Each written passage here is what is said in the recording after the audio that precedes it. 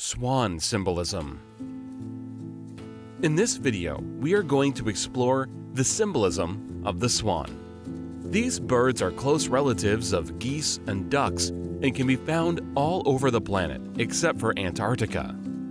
They mate for life and produce from 3 to 8 eggs in a clutch.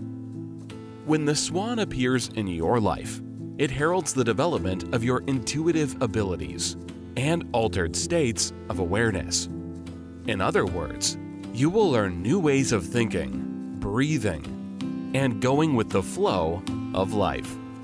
The swan also asks you to accept your ability to know what lies ahead. Therefore, you should follow your hunches and pay attention to your instincts.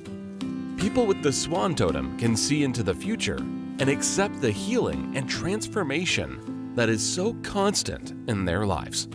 In addition, they often find true love at a young age and will stick together through the years. They also know how to balance work, family, and play. Folks with this spirit animal's energy recognize the value of personal solitude as a form of recharging their batteries. As a result, they are comfortable in crowds and know how to maintain their individuality in crowded situations. When you see a white swan in your dream, it symbolizes beauty, dignity, grace, purity, wealth, and prestige.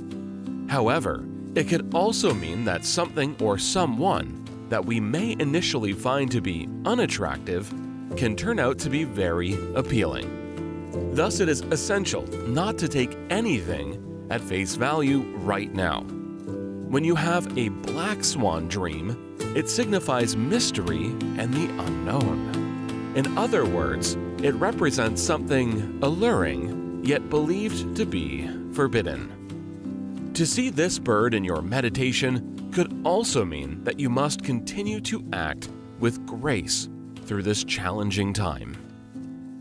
Thank you for watching this video.